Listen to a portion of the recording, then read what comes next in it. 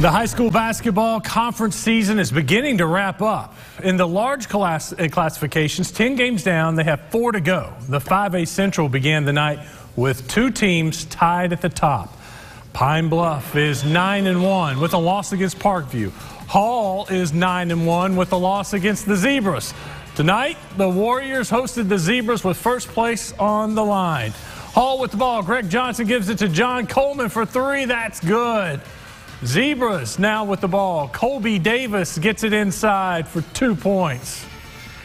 Later on, Pine Bluff's Caleb Higgins with a deep attempt, no good, but Davis is there to clean it up. Zebras back on the board again for the Zebras.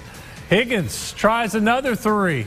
It's no good, but Higgins gets his own rebound. Way to follow your own shot, spins and lays it in.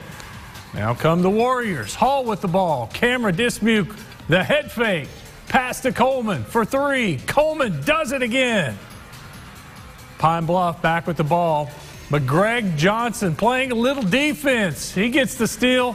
He knows what to do with it. He goes coast to coast. Hall wins 58 51. They take over first place. Higgins led Pine Bluff with 21.